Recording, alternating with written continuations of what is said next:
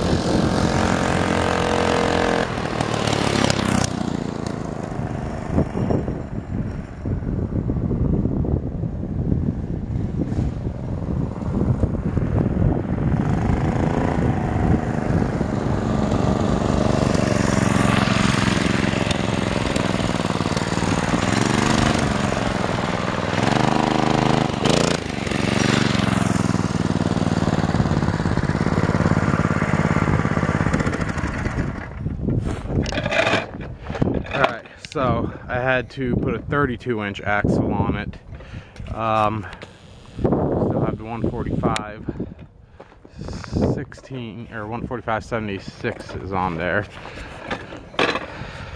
So I have to hook up my brake cable.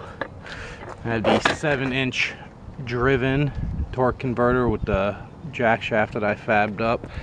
Uh, little side or uh, under seat gas tank mount that I made 66 tooth sprocket on a 13 jack shaft tooth sprocket.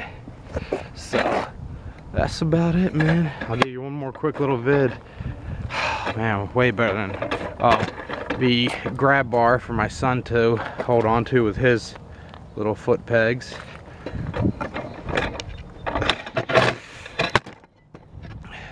One more quick little vid. Uh, actually, battery's gonna die, so the doodle trike. That's it.